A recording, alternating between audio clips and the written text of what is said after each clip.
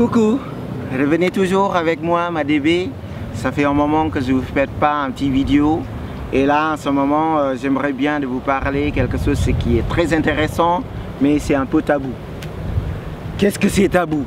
Ça existe. Certaines personnes de parler de l'argent, c'est un peu tabou, oui. Mais euh, c'est toujours très intéressant.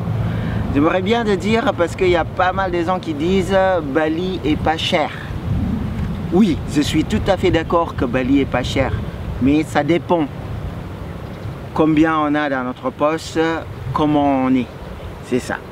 Et alors, en ce moment, j'aimerais bien de vous faire une comparaison qui est beaucoup plus logique et beaucoup plus objectif au niveau du prix sur Bali, ou soit au niveau du tarif sur Bali. Parce que Bali, euh, la différence des tarifs, c'est vraiment, vraiment très large. Si on cherche un repas de 12 euros, ça existe.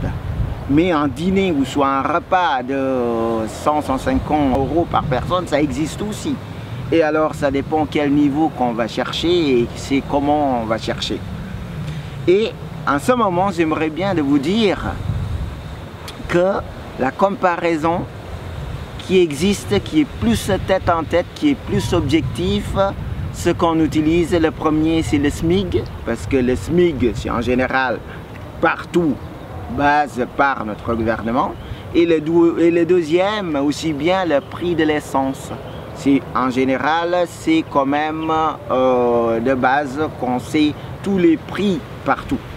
Et si on va dire un prix d'essence à Bali, il est à 60 centimes d'euros par litre avec la qualité le plus bas. Et en général, les gens vont dire Ah oui, il n'est pas cher du tout.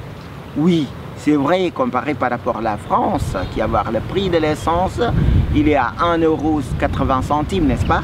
À peu près 2 euros max, on pourra dire. Oui, on est trois fois moins cher. Mais la deuxième, ce qu'on va dire le SMIG, ce qu'on a à Bali, il est autour de 200 euros. Tandis qu'en France, il est autour de 1200 jusqu'aux 1400 euros en ce moment, n'est-ce pas? Et alors, si on va dire la comparaison, avec le prix de l'essence, on est trois fois moins cher par rapport à la France.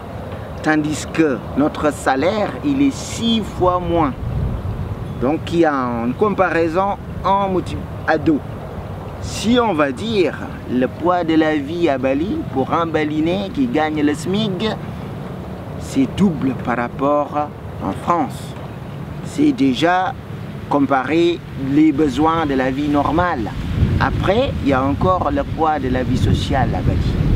Et alors, comme ça, vous verrez mieux la comparaison, la condition de la vie des Balinais, pour que vous puissiez aussi préparer bien avant que vous venez à Bali pour voyager, préparer vos budgets, quel niveau d'hôtel, quelle qualité d'hôtel que vous cherchez et aussi bien des activités que vous allez profiter à Bali.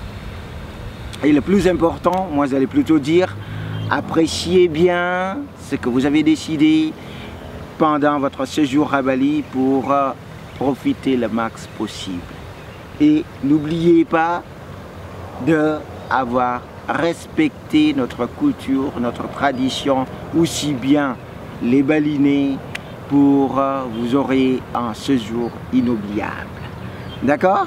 Ciao, ciao. À bientôt. Merci.